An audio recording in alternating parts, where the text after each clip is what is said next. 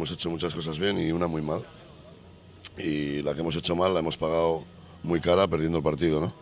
Creo que en lo demás, pese a lo que digan los demás, creo que el equipo ha sido valiente, ha sido atrevido y sobre todo y fundamentalmente ha jugado súper ordenado.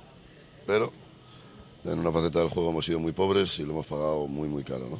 Yo creo que no hemos hecho un mal partido, yo creo que hemos eh, defendido pues bastante bien todo el equipo, a pesar de, bueno, de las estrategias, que es lo que, lo que hay que corregir, ¿no? Pero bueno, yo creo que hemos plantado cara al, Barcelona, no le hemos dejado hacer pues muy bien su juego y bueno, pues yo creo que, que tenemos que ir con la cabeza bien alta, pero sabiendo que hay que corregir muy bien los, los errores de a balón parado, ¿no? Por lo menos intentamos jugarles arriba, eh, crearles ocasiones.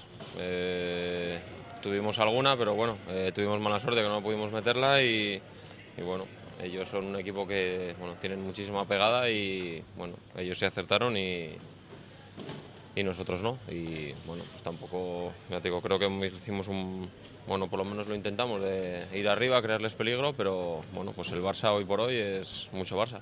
Una ilusión no llegar otra vez al Camp y poder debutar ya después de tanto tiempo formándome en la masía y lo hice con la camiseta del deporte y muy contento. ¿no? Lo, lo malo fue el resultado, pero bueno, venimos con la cabeza alta a Gijón y, pensando en el próximo partido ya. Sabíamos que iba a ser bastante difícil y, y la verdad que bueno, tuvimos nuestras ocasiones, pero bueno, en las jugadas de estrategia pues no estuvimos muy acertados y, y a seguir trabajando, ¿no? Eh, ya sabemos que hay que mejorar esa cosa y, y bueno, pero en, global el equipo estuvo muy bien en el sistema defensivo, ¿no? En, cuando ellos tenían el balón y la verdad que, que bueno, vivían el equipo y, y nada más, ¿no? A seguir trabajando y, y es el primer partido de liga nada más. ¿no?